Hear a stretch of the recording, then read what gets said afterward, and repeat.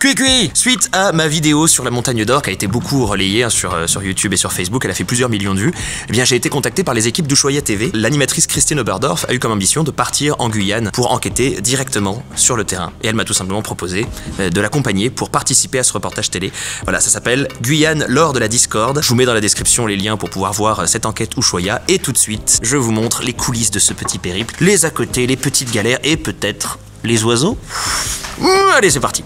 Salut, je suis avec Christine Oberdorf, voilà, Madame Ushuaïa TV. Non, Harpy Féroce. Ah, Madame Artifers, t'as raison. On va partir avec elle en Guyane. On est déjà en Guyane. Mais non, c'est juste qu'on avait oublié de faire ce plan-là, donc on le fait tout à la fin. ok, pardon. on va en profiter bah, pour voir un petit peu ce qu'il en est vraiment de cette histoire de Montagne d'Or, parce que nous, on voit ça de loin euh, avec nos, nos yeux de néophytes et on lit des articles, mais finalement, qu'est-ce qui se passe en vrai sur le terrain? C'est parti. Allez, c'est parti, je crois qu'on nous attend. Allez, viens, viens, viens. viens, viens, viens. On a demandé d'être à côté du hublot pour pouvoir avoir la belle vue de l'Amazonie quand on arrive en Guyane. Et puis, on est à côté de l'aile. Génial. Super. Super. Allez, écoute venir. Qu'est-ce que tu en penses, Tom? C'est encore très déroutant. On va vachement vite, hein. Par contre, on est encore au sol. Le dernier album de Muse est nul d'ailleurs. Ça, c'est bien parce que comme ça, je pourrais en dire du bien. Et comme tu en auras déjà dit du mal, on va pas penser que c'est un placement de produit. Get up and fight. Get up and fight. I can handle this without you. Can do it. Ah Ça démarre Ça démarre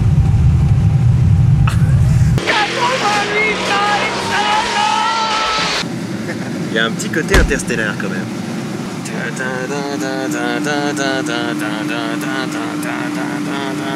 C'est ça, non Et aussi, parce que sinon ce serait quand même trop facile, pendant le vlog, c'est aussi le moment du grand défi, on est prêt. Et je ne dois pas manger de viande, toi non plus d'ailleurs. Donc, pendant ce voyage en Guyane, il va falloir qu'on fasse attention à, à ne pas euh, manger de viande. Bon, après, c'est pas comme si c'était le paradis de la viande, les Guyanes. On- Ouais, mais mec, le poisson, ça ah, par contre, le poisson, c'est stylé. ouais. Ça nous oblige en fait à chercher les alternatives, à chercher les autres euh, produits à manger. Et en fait, on va se rendre compte que euh, j'imagine c'est pas si compliqué. Hein, hein, hein, C'est pas si compliqué. Ouais, ouais, ouais, a priori, il va falloir choisir entre deux plats. Risotto et épinards. Lequel des deux il y a de la viande dedans? Moi je pense qu'il y en a dans les risotto, mais lui il pense pas. Euh, Mais on- en fait, tu peux se séparer, c'est pas grave. Non mais c'est débile. Si jamais tous les végétariens ils prennent que des plats avec de la viande et qu'ils jettent la viande, ça n'a aucun impact. On a acheté la J'ai viande. sacrifié la pizza à la viande d'hier, ok? J'ai mangé une pizza avec du chef. Alors tu vas pas m'emmerder, mec. Verdict, c'est le risotto où il n'y a pas de viande dedans. Il est excellent. La Guyane La Guyane. On est prêt. Dans la montagne d'or. Milieu le Québec libre. Mais non, mais c'est dégueulasse, putain.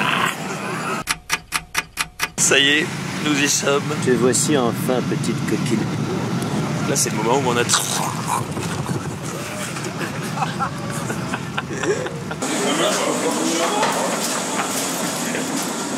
C'est quand même assez cocasse. Le tout premier oiseau que je prends en photo ici, c'est un tyran mélancolique. C'est vraiment le nom de l'oiseau. Effectivement, la mélancolie, c'est peut-être ce qui détermine le plus cette scène. Je reviens chez moi. Bon, c'est une merdouille, hein, le tyran mélancolique. Hein, c'est Oui, et vraiment. puis personne ne t'aime ici en C'est plus. peut-être le. Ah, je suis encore en train de dire du mal des oiseaux moches. Non, c'est pas moche. C'est commun. Ça y est, on y est, on est en Guyane. C'est grâce à vous, grâce à toutes les vues. Merci à tous ceux qui ont partagé ma vidéo sur la montagne d'or. C'est vous qui avez rendu ça possible. Là, on vient voir sur place euh, comment ça se passe. On va essayer de, de parler avec les différents euh, acteurs et les opposants euh, à ce projet. Objectif oiseau en 4 jours, on n'a pas le temps de voir grand chose, mais si on peut avoir un toucan. Voilà, pour l'honneur. Parce qu'on n'est pas là pour les oiseaux, vraiment on n'est pas là pour les oiseaux. Et quand on est photographe, euh, ornitho, en Amazonie, on sait qu'en 4 jours, faut pas rêver. Ça va pas être possible, Max, en fait. Parce que même euh, soit à l'ombre ou au soleil, en fait, il y a la même température. Ah oui, oui, il fait- pas de répit, en fait. Il fait chaud tout le temps. Le mec, c'est un enfer. C'est un enfer. tu vas survivre.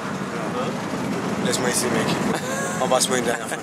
Bah, c'est sûr que ça change de la Tanzanie. On nous a dit qu'il faisait chaud et on s'était foutu de notre gueule. Je pense que tu vas t'y faire. Je pense qu'au bout de quelques jours. Ça, c'est le fond d'écran de Tom Waller. Ne jamais laisser traîner son portable à côté de ce genre de youtubeur, vous le saurez. Ok. Il y a un toucan là, un petit toucan, un arasari.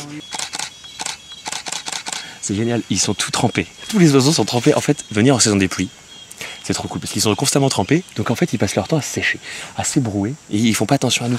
C'est les meilleures circonstances parce que c'est des animaux très difficiles à observer de manière générale. Ah, j'ai un bébé là. C'est le premier que j'ai vu. Il a vraiment un bec euh, très très haut, mais très court. Donc il il est vraiment, il est vraiment adorable. Déjà, quand on voit dans quel sens on va au niveau de la planète entière. Les États disent qu'il faut arrêter d'utiliser les, les énergies fossiles, qu'il faut aller sur le renouvelable. Et là, on voit qu'ils veulent venir avec des gros projets industriels. Là, c'est pas la croissance qui va nous sauver. C'est tout le monde commence à le dire. Il faut, il faut commencer à aller sur la décroissance parce que sinon, c'est l'humanité qui, qui devient en danger. C'est difficile dans un système euh, libéral capitaliste euh, d'opposer quelque chose euh, à la croissance. Parce que pour le coup, les, euh, on va dire que les. euh, alors attendez, excusez-moi, je vais juste vérifier un truc. non, non, mais continue à filmer. Ah, ok, c'est lui. Il y a un magnifique Milan de Cayenne. Vous êtes servi au niveau des oiseaux. Ah oui, oui. ouais. C'est un passionné, hein, un vrai passionné. Attends, je sais pas si, si on va le voir sur l'image. Ah, c'est un gros rapace. Faut que j'essaie de me focuser. Mais... Et parce Ah, il y, a- y a le deuxième qui est ici. Ah, Il y en a un deuxième qui est beaucoup plus proche de nous. Il va peut-être attraper quelque chose. Bref, j'irai le choper tout à l'heure.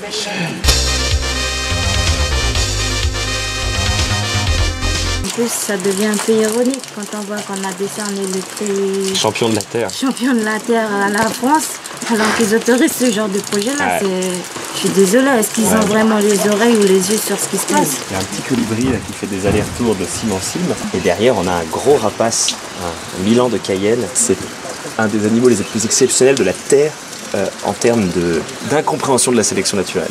Parce qu'il se trouve que l'adulte, il est gris, donc il ressemble à un rapace à peu près normal. Mais quand il est jeune, il a exactement les mêmes plumes que l'aigle orné, qui est un gros prédateur. Donc en fait, il limite les couleurs d'un gros prédateur pour être un peu tranquille.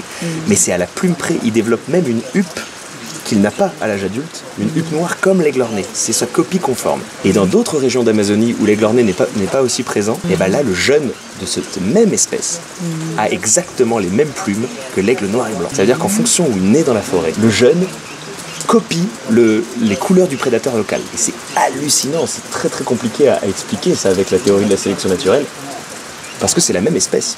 Il y a le vieux port euh, où j'avais dormi euh, dans, dans- dans le bateau d'un pote qui était amarré ici pendant, pendant quelques temps. Il y a plein de souvenirs, c'est c'est toute ma vie.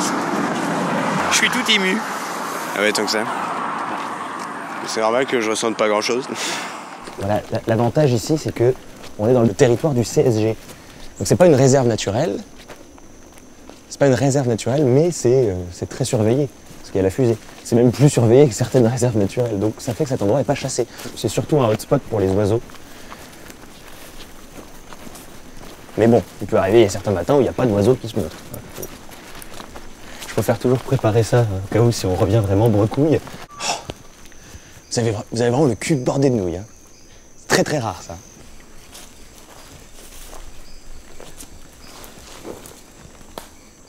Stop, plus un geste. Silence. Rareté absolue. Stop, plus un geste, plus. Stop, silence. C'est un hibou, probablement un hibou à lunettes. Rarissime, je l'ai jamais vu de ma vie. Ok, alors euh, on a vraiment beaucoup de chance hein, parce que moi je, je- suis allé plein de fois sur le parcours de golf, c'est la première fois que je la vois. Sous réserve d'identification, mais je suis quasiment sûr, c'est la chouette à lunettes. Et la chouette à lunettes, c'est la chouette la plus emblématique d'Amazonie. Je veux dire, je la vois dans tous les bouquins depuis que je suis tout petit, je l'ai jamais vue de ma vie. Là, on va juste quelques minutes sur le parcours de golf, on la voit. C'est terrible parce que c'est un gros rapace, il était trempé. Euh, et il était dans les fourrés, c'est-à-dire qu'on voyait pas, on voyait un bout de l'aile, un bout de truc. Je me suis dit, on n'en fera rien.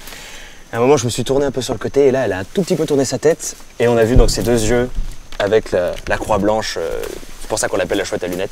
Donc j'ai une photo où on voit sa tête. Donc c'est, c'est- c'est- c'est le trophée quoi. Attends, je vais te montrer ça.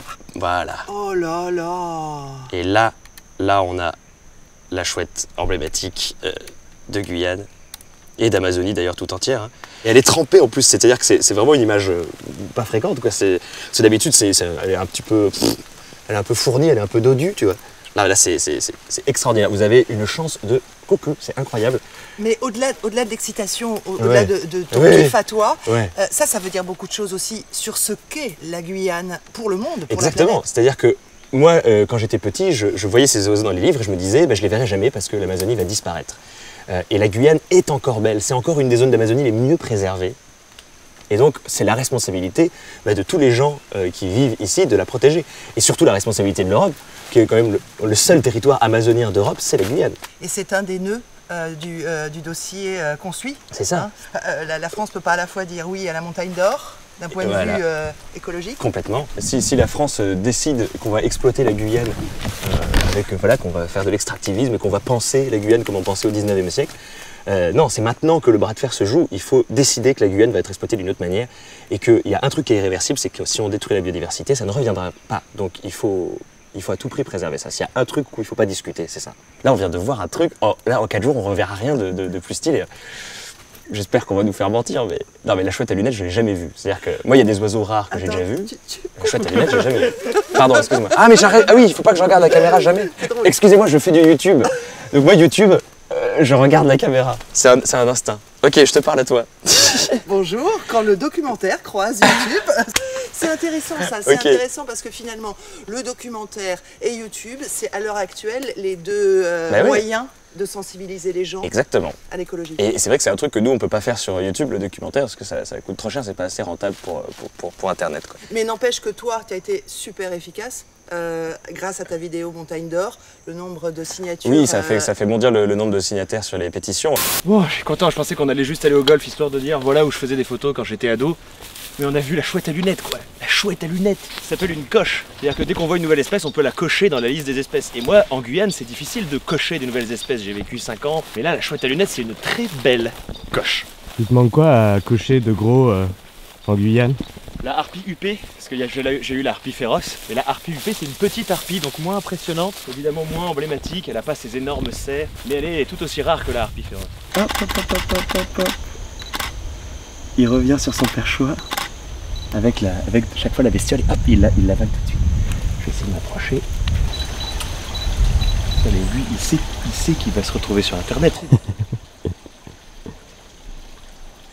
On se dirige vers la plage de, de d'Awala Yalimapo, qui est donc un, un site de ponte pour les tortulutes. C'est le plus gros site de ponte pour la plus grosse tortue du monde. Elle Mais- possède un cul de mais 18 mètres. Est-ce qu'on est plutôt sur un mode sexy boy? Ah, de ouf. De ouf. Il n'a pas peur de, de mourir. Il donne absolument tout pour le reportage. C'est clair. Embarqué dans l'aventure de Tom Wallop, une personne qui se donne pour son travail. Sur la plage d'Awala Yalimapo, nous avons rencontré la famille Chuka, des Amérindiens Kalina, qui nous ont expliqué en quoi la forêt visée par le projet Montagne d'Or devrait être considérée comme la leur. Un échange que vous pourrez retrouver dans le reportage d'Ushuaïa TV, Guyane, lors de la Discorde. On était en train d'échanger des, des souvenirs à propos d'Alexandre Renaudier que, que tu as connu, que tu as connu aussi, ouais. Qui, nous a, qui nous a quittés il y a, il y a quelques années, euh, beaucoup trop tôt, et c'était vraiment euh, la légende de l'ornithologie euh, en Guyane. Ce monsieur-là, c'est bravo pour lui d'ailleurs. hein. Ouais. Bravo. Renaudier, big up, Ouais. on t'oublie pas. Moi, quand les gens ils me voient courir partout avec les oiseaux et devenir fou, euh, ils me disent Mais t'es malade Je dis Mais vous ne connaissez pas Alexandre Renaudier.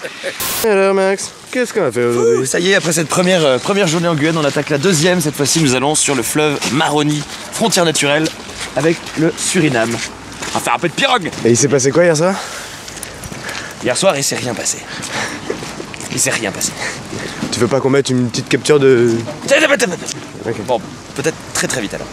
Alors tous les hommes sont convoqués, merci, moi je filme. Putain, mais Guillaume, le frein à main, t'es con quoi. Hein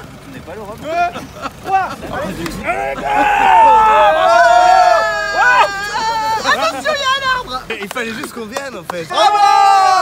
On est une équipe. Tu vois, là, c'est. Cette île, Ouais. c'est un bateau. Mais quoi Mais non. C'est un vieux bateau, c'est une épave. Ah, mais what? C'est fou, hein Putain. Je sais plus comment elle s'appelle. Ça s'affiche sur l'écran. Juste au-dessus. Merci Julia. On va remonter le, le Maroni parce qu'en fait c'est vraiment euh, cette région de là de Guyane euh, qui est qui pourrait être touchée par d'éventuelles ruptures de digues de cette fameuse de ce fameux premier projet minier. Comme le projet minier il va être justement dans, dans l'ouest euh, de la Guyane, on est vraiment dans la région où les, les populations locales euh, sont les plus touchées par bah, la déforestation, euh, la pollution et les éventuelles catastrophes en cas de rupture de digues. Jean-Pierre venait d'acheter son bateau. Il était vraiment super beau. Mais il a eu un petit problème. ça, ça, ça rassure. C'est- C'est-à-dire, moi, je, là, je suis, là, tel que tu vois, je suis rassuré. Ah, j'ai fait un peu pipi. Ah. Écoute-moi bien, Max. Ouais. On va prendre le contrôle de ce bateau. Je vais me charger de Christine. Toi, tu te charges. Et moi, je prends le contrôle de cette pirogue. Sur le Maroni, nous avons discuté avec Abolo, qui travaille sur le fleuve et qui lui est plutôt favorable au projet Montagne d'Or. Cet échange, vous pourrez le retrouver dans le reportage Guyane lors de la Discord sur Ushuaïa TV. Mais si on n'a pas d'autre chose pour aller conduire, on va pas se mourir. Il n'y a pas d'autre activité. Salut Max Ça va bien Ça va et toi Ouais, ouais, nickel. Bah, Je suis content de te voir ici. Tu Bah sais oui, que carrément. Ta vidéo euh, sur Montagne d'Or a fait exploser les scores en termes de Ah. en ligne. Ah, j'en suis, suis ravi. Écoute, euh, on se rend compte enfin en vrai parce que finalement on s'est, vu euh, virtuellement. Moi j'ai aussi beaucoup, beaucoup lu tous les articles de WWF pour tout ce qui a été fait autour de la montagne Bah, d'or pour avoir une, une manne de données. Ça a été euh, très très bien utilisé. Bravo à toi. Lors d'une conversation avec Laurent Kell du WWF, j'ai mieux compris à quel point la Guyane pouvait se développer autrement qu'avec des projets industriels miniers, en misant plutôt sur la biodiversité, l'exploitation forestière durable, les énergies renouvelables, la pêche, l'écotourisme aussi. Le défi, c'est de refaire de la Guyane une destination de premier choix. Autant d'aspects qui sont traités dans le reportage de Christine. C'est l'endroit le plus dingue de la Terre, la Guyane. L'Amazonie, de toute façon. C'est-à-dire, si les extraterrestres, un jour, ils arrivent sur Terre, ah, ils, ils- vont pas aller à New York, à Paris, ils vont aller direct en Amazonie, c'est là que ça se passe. hein. Le reste, c'est une bande-annonce. La vraie vie, c'est ici. Mais ouais, c'est ici, c'est ici. Voilà, aujourd'hui on arrive à la fin de notre euh, séjour, mais l'enquête continue euh, pour Christine. Là, elle est sur le point de passer un coup de fil à la responsable com de la compagnie Montagne d'Or. Donc elle va, va l'appeler un peu en mode Élise Lucet. Oui, bonjour, euh, je voudrais vous poser quelques questions. Donc voilà, il est possible que ce soit un petit peu houleux. Euh, en tout cas, c'est très courageux. On ne peut pas accéder au site quand Ouais. euh, Pierre Paris, le patron de la compagnie Montagne d'Or, Ah ouais. euh, n'est pas euh, sur place. Sauf qu'en ce moment, il est super occupé à Paris, D'accord. à présenter euh, plein d'aménagements, d'amendements euh, à ce projet Ah ouais. Montagne d'Or pour qu'il réussisse à passer. C'est ça. Sauf que ça passe pas du tout. Les opposants sont pas du tout d'accord avec ces amendements. Et là, du coup, le but du jeu, c'est d'essayer d'aller les trouver euh, dans leur bureau, quoi. Ouais, c'est ça l'idée, ouais.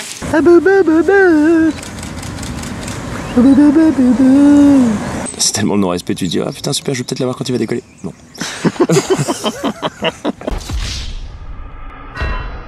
Parfois même, je suis pas au courant qu'il a décollé, tu sais, je suis en train de prendre des photos comme ça, et moi je fais, et puis là. ça fait pas de bruit, Ah, voilà, voilà. On est chez eux, chez la montagne compagnie Montagne d'Or, c'est leur, antenne. S'en est suivi une conversation plutôt tendue à propos des avantages avancés par la compagnie Montagne d'Or et des craintes exprimées par les opposants au projet. Un des moments clés du reportage d'Ushuaïa. Non, t'en as pensé quoi? Bah, c'est normal, hein, c'est- ils défendent euh, leur projet. En fait, c'est ça, il faut bien se comprendre que la compagnie Montagne d'Or, ces promoteurs, euh, il faut pas leur demander d'aménager le territoire, il faut pas leur demander d'offrir des emplois aux gens, c'est pas, c'est pas leur rôle. Leur rôle à eux, leur, leur travail, c'est de faire du bénéfice pour leurs actionnaires.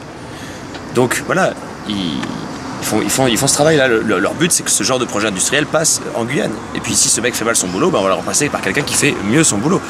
Nous, ce qui nous révolte, c'est que la population est opposée à ce projet et que les élus sont majoritairement pour. Donc si la population est contre et que les élus sont pour, c'est qu'il y a un problème de représentation quand même. Euh, c'est ça le problème, c'est que Macron a dit on va faire un débat public et en fonction du débat public on en tirera les conséquences. Le débat public a été hyper clair, les gens sont opposés au projet. Il faut en tirer les conséquences maintenant. Ce qui est bien, c'est que j'ai- sorti. euh, euh, Max a été un peu mon bouclier. J'ai Ouais. tout à l'heure un tété. T'as pris tous les coups et moi j'étais. moi j'étais. Oui, mais moi j'avais lu que. Bon. Moi je pense qu'il n'y aurait pas eu ta vidéo euh, sur la montagne d'or. euh, Il n'y aurait pas eu un engouement à ce point pour tous les docs euh, nécessaires autour de cette question-là. Parce qu'en métropole, on s'en fout, quoi. C'est ça, C'est loin. Ça reste le Far West. C'est ça. Alors, on vous souhaite euh, tout plein de réussite pour la suite du- de, de- de- de l'enquête. Euh, bah, bien sûr, en keep in touch. hein. et euh, on revient d'un, d'un- on revient en canoë-kayak s'il faut. Christine Salut Ah, c'est cool. C'est un plaisir de danser avec toi. Ouais Vraiment, c'était bien chouette. Merci encore de nous avoir Mais euh, c'est. montré euh, le chemin. C'est le début. C'est le début de quelque chose. Force et honneur pour la suite. Salut. À très vite. Bye bye. Ça y est, on est sur la route euh, du retour. On, va vers l'aéroport avec Laurent, monsieur WWF, qui a eu la gentillesse de nous montrer un spot à, à, à, à euh, Chouette des Terriers, pardon. Chouette des Terriers. Donc voilà, on a quelques petites photos euh, sympatoches. Et on était en train de parler justement du Milan de Cayenne. J'en ai parlé un peu plus tôt dans le vlog en disant que quand il est immature, il imite soit l'aigle orné, soit l'aigle noir et blanc, qui sont de gros prédateurs magnifiques, très très rares. On n'est pas au niveau de la féroce, mais c'est quand même, ils ont une densité naturelle très très très très faible. Donc les voir procèdent toujours de- du coup de bol en fait. Et pendant qu'on parlait, on voit une grosse masse. Alors on s'arrête, on hésite entre vautour pape ou puce blanche à ce moment-là, mais il y a quand même un truc qui paraît bizarre. Bah euh, voilà les photos, c'est l'aigle noir et blanc. L'aigle noir et blanc, donc un des gros euh, aigles de Guyane, un des oiseaux à 100 points que j'avais mis dans, dans la liste la dernière fois, donc un des, ah, un des, un- un des Pokémon légendaires en fait. Voilà. L'aigle noir et blanc que moi je n'avais jamais vu en Guyane de ma vie. Je l'avais déjà vu au Pérou, très très très loin, dans des mauvaises conditions. Ouf, Alors c'est quand même le, le- le bouquet final de partir là-dessus, c'est-à-dire que c'est, je sais pas si on peut dire que c'est plus rare que la chouette à lunettes. Si, on peut le dire, si, Ouais. si, ouais, ouais, carrément. Ben voilà, mais c'est c'est hallucinant. C'est-à-dire que on est resté trois jours. Et en trois jours, il y a eu deux trophées, mais de, l'espace, quoi. De l'essai, c'est complètement hallucinant. Voilà, j'étais venu en Guyane en mode, euh, on n'a pas le temps, on va rien voir. J'en avais fait le deuil avant, je pensais que j'allais pas faire une seule photo. Je suis ravi, cui, cui, cui content. Cui, cui content.